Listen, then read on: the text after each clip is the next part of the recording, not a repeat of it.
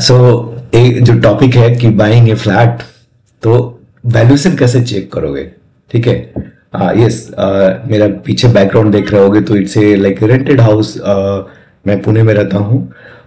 हड़पसर करके एरिया है। uh, जो कि ठीक ठाक प्राइम एरिया है। इधर में आईटी कंपनीज़ हैं। सो पुणे में देखोगे तो दो साइड है। एक हिंजवाड़ी साइड आईटी कंपनीज़ हैं और हड़पसर खराड़ी जिसको बोलते हैं इधर में लाइक मगरपट्टा एक बड़ा एरिया हो गया और खराड़ी साइड हो गया। ये खराड़ी और मगरपट्टा दोनों आपस में कनेक्ट नज़दीक है। हार्डली दो से तीन किलोमीटर के बीच में दूरी है, इन दोनों के बीच में। सो मेजोरिटी ऑफ़ द लोग जो इधर खराड़ी, मगरपट्टा काम करते हैं हड़पसर रहते हैं, खराड़ी रहते हैं। ठीक है? तो अब होता है कि जब भी आप कोई चीज़ खरीदने जाते हो तो हर चीज़ में आप वैल्यू खोजते राइट कोई भी चीज़ आप, जैसे आप मान लो कि गोल्ड खरीदने जाते हो। तो आप यस आप इवन आप मान लो कि गहने के रूप में खरीद रहे हो ज्वेलरी के रूप में खरीदो स्टिल आप सोचते हो कि उसमें कुछ वैल्यू होना चाहिए। यदि मान लो कि गोल्ड का वैल्यू गिरता जाए, तब खरीदोगे क्या? या? या फिर बहुत महँगा गोल्ड हो, तब खरीदोगे क्या? नहीं खरीदोगे राइट यदि भी स्टॉक मार्केट में हो तो आपको लगता है ना कि ये चीज़ यार बहुत महँगी है क्या? चाहे बहुत सस्ती है क्या? अब देखो, जैसे टेक एक एग्ज़ाम्पल सिंपल से एग्ज़ाम्पल लेता हूँ आपको, ठीक है? तब आपको एक अच्छे से आपको एक आइडिया आएगा। जैसे टेक एग्ज़ाम्पल आप एच बैंक ठीक है? HDFC बैंक मैं क्यों ये एच बैंक का नाम ले रहा हूँ? इसको आपको फिर समझ में आएगा। ठीक है? इसका कुछ डेटा दिखाता हूँ आपको। ठीक है? डेटा देखते हैं हम। किसमें चले जाए तो स्क्रीनर करके एक होता है। स्क्रीनर डॉट इन ये बहुत अच्छी वेबसाइट है। आपको किसी स्टॉक के बारे में जानना हो तो एच बैंक में जा रहा हूँ, आपको एक चीज़ में दिखाने जा रहा हूँ, ठीक है? तब आपको एक आइडिया लगे कि मैं कहना क्या चाह रहा हूँ। मैं तीन इयर्स का एच का ग्राफ दिखा रहा हूँ। थ्री इयर्स तो ये हो गया आपका हज़ार बीस फाइव ईयर का ले लेते हैं। ठीक है फाइव ईयर तो अब समझो कि इवन कोरोना के पहले भी जो स्टॉक प्राइसेस था नियर अबाउट तेरह सौ से थर्टीन हंड्रेड था। ठीक है थर्टीन हंड्रेड प्राइस था। आज के रेट में कितना है? सिक्सटीन हंड्रेड से थोड़ा कम है। मतलब कि पिछले तीन साल में कितना? तीन सौ रुपया केवल बढ़ा है। ठीक है? पिछले तीन साल में तीन सौ रुपया केवल एच बैंक का बढ़ा है। ठीक है? अच्छा अब इसका हम प्रॉफिट देखते हैं कि प्रॉफिट कैसे इन दिनों में प्रॉफिट कैसे ग्रो हुआ है। ठीक है? दूसरी तीन साल में 2019 से ले रहा हूँ। 2019 में मार्च के मार्च के ले रहा है। तो नेट प्रॉफिट था 22,000 ठीक है? फिर 2020 में हो गया 27,000 पाँच पाँच हज़ार से बढ़ गया। फिर नेक्स्ट फिर करीब करीब पाँच हज़ार से बढ़ गया इकतीस हज़ार आठ सौ हो गया। फिर करीब सात हज़ार से करीब साढ़े छह हज़ार से करीब बढ़ गया तो अड़तीस हो गया। फिर उसके बाद सीधे कितना से बढ़ा है? नियर अबाउट आठ हज़ार से। आठ हज़ार करोड़ से। तो देखो कि प्रॉफिट डबल हो चुका है।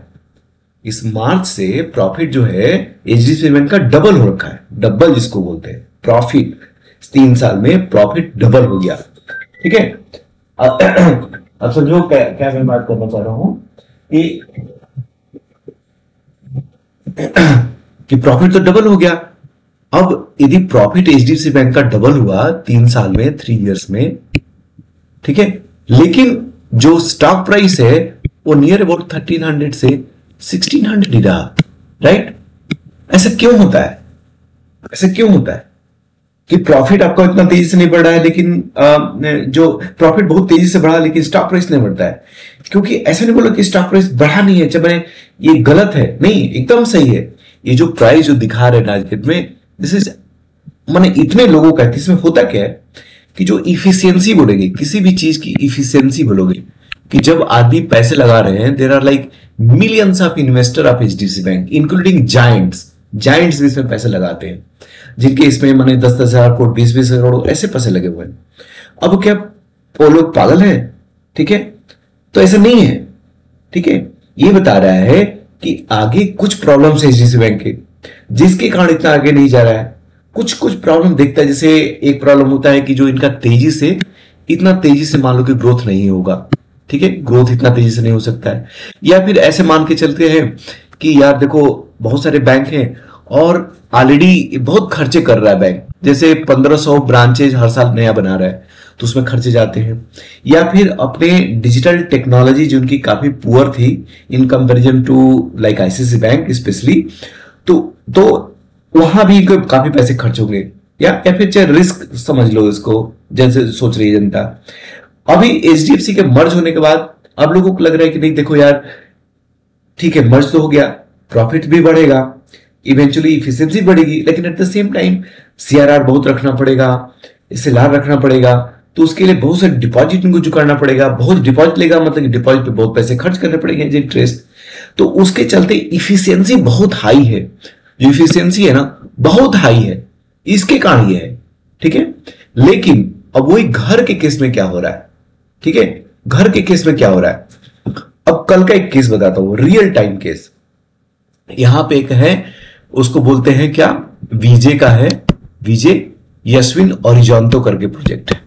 आप जाकर उसको खोज सकते हैं। वसिन एरिजानतो विजय का ओरिजोंतो प्रोजेक्ट का कहाँ पे? खराड़ी में। ओके ये प्रोजेक्ट रेडी है। अब हमारे सबसे पोजीशन एक महीने, डेढ़ महीने मैक्सिमम में उनका होने वाला है। दो टावर का ए और बी का। ए और बी टावर का होने वाला है। मेरे को कल एक ब्रोकर मैंने कॉल किया, उस ब्रोकर से मेरे पहले कनेक्टेड था। तो बी बिल्डिंग में उसने एक फ्लैट मेरे को बताया, कितने का? 92 लैक्स ठीक है? 92 लैक्स रेडी टू पोजीशन वाला है, दो बी के है। ठीक है? और ये क्या है? करीब exactly to be precise 725 square feet ठीक है? यही उसका कॉन्फ़िगरेशन है। अब इस फ्लैट को यदि आप अब अब देखते हैं कि इस फ्लैट का हम उस मार्केट में खराड़ी के मार्केट में कितना का रेंट कर सकते हैं, ठीक है? कितने में रेंट कर सकते हैं? तो हम आते हैं इस पे 99 एकर्स डॉट कॉम ठीक है? कि एक सिमिलर टाइप का जगह हम रेंट करने जा रहे हैं तो रेंट कितने का मिलेगा? खराड़ी मैंने डाल दिया, यहाँ पे कर दिया मैंने सर्च ठीक है? कोई टिपिकल जो जेन स्टेट है इससे नियर अबाउट वन किलोमीटर की दूरी पे है। ये बत्तीस हज़ार का मिल रहा है। बत्तीस हज़ार का फ्लैट कोई तो रेंट कर रहा है, ठीक है? दूसरे कहीं चले जाओ। ये उसी का एक्चुअली देखो, ये थोड़ा सा बड़ा ही है। ये फ्लैट 725 से थोड़ा बड़ा है। फॉरेस्ट काउंटी हटा दो, ये बड़े फ्लैट होते हैं। देखो इधर तेरह सौ चालीस स्क्वायर फीट बताया है। ये काफ़ी बड़े बड़े फ्लैट हैं और यहाँ पे मनमाना पैसा चलता है। पंसिल बहुत है मैंने दो करोड़ से ऊपर के फ्लैट पंसिल होते हैं इसलिए मैं इसको काउंट नहीं करूँगा। अब आते हैं गिरधर ऑसिस प्लेटिनो भी अगर बहुत कॉस्टली है इसके लेवल का कोई एक हम फ्लैट निकालेंगे तब मैं बताऊँगा आपको। नयाती नयाती देखो नयाती एम्पायर अड़तीस हज़ार का तीन बीएच के दो बीएच के होंगे मैं बात कर रहा हूँ। पैंतीस हज़ार मस्टागोर इससे थोड़ा सा बेकार आए बोल, बोलूँगा लेकिन पैंतीस हज़ार का है। ठीक है? गुलमोहर पार्क भी उससे काफ़ी नज़दीक है। तीस हज़ार रुपए में दो बीएच के मिल रहा है रेंट ठीक है? फॉरेस्ट एज भी उसके नज़दीक है, छत्तीस हज़ार। प्लेटिनो अटारो में भी तीन बीएचके की बात कर रहे हैं। नयाती लजिया तीन बीएचके की तिरालीस हज़ार है, ठीक है? एलकॉन डिज़ाइन ये भी काफ़ी नज़दीक है, तैंतीस हज़ार के। तो नेट नेट मैं कहना क्या चाह रहा हूँ, कि आपको जो रेंट है, इस फ्लैट का जो रेंट है, ठीक है, जब आप रेंट करने जाओगे तो मैंने ये फ्लैट देखा हूँ। इसका रेंट आपको एक मैक्स आपको तीस हज़ार से कोई ज़्यादा नहीं देगा। तीस हज़ार रुपया करीब आपको कोई रेंट देगा। ठीक है? हमने अपर साइड में लिया है कि तीस हज़ार रेंट वहाँ पे आपको मिलेगा। अब तीस हज़ार रेंट हम इसको 92 को 90 बना ले रहे ताकि इजी हम कैलकुलेशन कर पाए। ठीक है? इसको जरा मैं एक दूसरा पेज बना लेता हूँ ताकि इजीली आपको मैं समझा पाऊँ। ठीक है? तो हमने लिखा कि 90 लैक्स आपने 90 लैक्स आपने पे कर दिए वन शॉट में। और इससे हुआ क्या? आपको जो यहाँ पे मैं बनाता हूँ कि एक साल में आपको कितने पैसे मिलेंगे? तो थर्टी थाउज़ेंड में से मैं एक पाँच हज़ार काट देता हूँ ठीक है? तो पच्चीस हज़ार करीब आपको पच्चीस हज़ार करीब करीब आपको हाथ में आएगा ठीक है? पच्चीस हज़ार रुपये अपने हाथ में आएगा। इसमें हमने क्या किया? पाँच हज़ार मैंने मेंटेनेंस वगैरह को काट लिया ठीक है? तो पच्चीस हज़ार इंटू बारह कितना हो जाएगा? ये हो गया आपका थ्री लैक्स थ्री लैक्स आपको ये आ, हो गया। और यदि हम इसका वो देखें इंटरेस्ट तो हम नाइन परसेंट के हिसाब से अगर आप नब्बे लाख रुपए आप लिए हैं, अगर लोन पे तो कितना आता है? 8.1 लैक्स आता है तो हमने मान लिया एट लैक्स ठीक है? तो पहले साल में आपको तीन लाख रुपया हाथ में आया और आठ लाख गया। ठीक है? तो आपको क्या मिला? निगेटिव फाइव लैक्स पहले साल में। ठीक है? मान लिया कि प्रॉपर्टी की प्राइस चार परसेंट से बढ़ गई। एक पाँच परसेंट मान लेते हैं। मान लो कि पाँच परसेंट से प्रॉपर्टी की प्राइस बढ़ गई। तो हमको मान लो कि एक प्लस हमारी प्रॉपर्टी की प्राइस हो गई एक कितना? 94.5 लैक्स हो गई। मतलब एक हमको चार लाख रुपए का एक प्रॉफिट हो गया। 4.5 लैक्स ठीक है? ओके अब नेक्स्ट ईयर मान लो कि मैं इसको बेचना चाहता हूँ कि 94.5 लैक्स का फ्लैट है, मैं बेचना चाहता हूँ। तो कोई अगला आएगा तो उसको एक सेवन परसेंट यहाँ पे रजिस्ट्रेशन कॉस्ट है। तो 94 लैक्स का सेवन लैक्स ले गए तो comes about near about 6.5 lakhs ठीक है? तो मतलब अगले को जिसको खरीदने आएगा, उसको मेरे को, उसको देना पड़ेगा एक करोड़, ठीक है? एक करोड़ वन लाख रुपीस उसको देगा। तब मेरे को क्या हुआ? यदि एक करोड़ एक लाख रुपया वो मेरे को जगह दिया, तब मैं वो फ्लेट ले पाएगा, ठीक है? अब तब मेरे को कोई कोई मेरे को लाभ हानि नहीं हुआ। कोई किसी भी तरीके का मेरे को फ़ायदा नहीं हुआ। एक साल के बाद मैंने बेचा तो एक साल के बाद मैं कितने बेच रहा हूँ? ग्यारह लाख रुपए ज़्यादा मैं बेच रहा हूँ। तब भी मैं, मेरे को, मैं बोल रहा हूँ कि मेरे को फ़ायदा कितना हुआ? तो ज़ीरो ज़ीरो फ़ायदा हुआ। ओके, समझ में आई बात? ज़ीरो फ़ायदा हुआ मेरे को। अब हम जगह नेक्स्ट साल जाए, कि चलो यार, एक साल और रुक जाते हैं। मान लो कि अगले साल प्रॉपर्टी आपकी पाँच लाख रुपए से और बढ़ गई। ठीक है? पाँच लाख रुपए से बढ़ गई। तो आपकी प्रॉपर्टी हो गई एक करोड़ की। ठीक है? एक एक सीआर की आपकी प्रॉपर्टी हो गई। अगेन आप नियर अबाउट आठ लाख रुपए दिए हो गए आप एक को मान लो कि हमने तीन के बदले एक दस परसेंट से हमने बढ़ा दिया तो आपको तीन लाख तीस हज़ार रुपए आपको आ, मिल गए हाथ में। तो अब इस बार कितना लॉस हुआ? करीब करीब मेरे को इस बार चार लाख सत्तर हज़ार का चार लाख सत्तर हज़ार का मेरे को लॉस हुआ। अब मैं चार लाख सत्तर हज़ार मतलब अब मैं वन पॉइंट ठीक है? One point five sorry one point zero five CR में मैं बेचूँगा प्रॉपर्टी तब जाकर अगली साल मेरे को, दूसरी साल में मेरे को कोई घाटा लगा नहीं होगा। अब 1.05 में अगर बेचने जा रहा हूँ तो सात परसेंट किसी को और देना पड़ेगा। राइट समझ रहे मैं क्या कहना चाह रहा हूँ? कि हर साल आप, हर साल आप लॉस मारे जा रहे हो। अच्छा हमने ये भी डिस्काउंट नहीं करा। दो चीज़ हमने डिस्काउंट नहीं करा। क्या? कि आप जगह, वो जो 90 लैक्स है, ठीक है? 90 लैक्स पे एक और चीज़ आप लूज कर रहे हो, एक अपॉर्चुनिटी कास्ट कि एक मिनिमम मान लो कि 12 परसेंट आपको म्यूचुअल फंड में मिल रहा है, ठीक है? 90 परसेंट का 12 परसेंट म्यूचुअल फंड मिल रहा है। तब वो तो एक लॉस मार ही रहे उतना एक लॉस मार रहे हो, उतना अपॉर्चुनिटी कास्ट आपकी जा रही है। तो भाई, किधर से फ़ायदा हुआ? कैसे आपको लग रहा है कि पॉजिटिव कैश फ्लो का नहीं, एक सुनील तुलसियान है जो कि कनाडा में बहुत बड़े इन्वेस्टर हैं रियल इस्टेट करीब करीब तीन हज़ार घर बेचे हैं आज तक। उनका वीडियोज़ है आपको उसमें जाके नाम डालोगे तो आपको मिल जाएगा। उनका नाम है सुनील तुलसियानी। तुलसियानी, ठीक है? ये बोलते हैं कि जब आप प्रॉपर्टी खरीदने जाओ तो दो चीज़ देखो। पहला चीज़ क्या है? पहला चीज़ आप देखो कि जगह वहाँ पे सारे लोग जगह मान लो कि लग रहा है कि 90 लैक्स की प्रॉपर्टी है, ठीक है? तो तुमको मिलना चाहिए लेस देन 80 लैक्स में। मैंने तुमको कुछ तो फ़ायदा होना चाहिए वहाँ पे। लेते लेते आपको कुछ फ़ायदा होना चाहिए। जगह मान लो कि ये नहीं हो रहा है तो आपकी प्रॉपर्टी ऐसी होनी चाहिए जो कि जो कैश फ्लो हो।